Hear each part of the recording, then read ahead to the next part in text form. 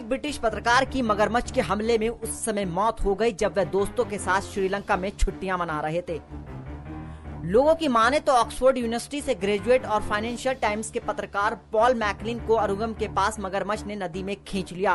Paul नदी में हाथ धो रहे थे, तभी अचानक मगरमच्छ ने उन पर हमला कर दिया। इस घटना को देख मछुआरों ने वहाँ मौजूद लोगों को चिल्लाकर मदद के लिए बुलाया, लेकिन जब तक लोग उस जगह पहुँचे, मगरमच्छ पॉल को पानी में ले जा चुका था।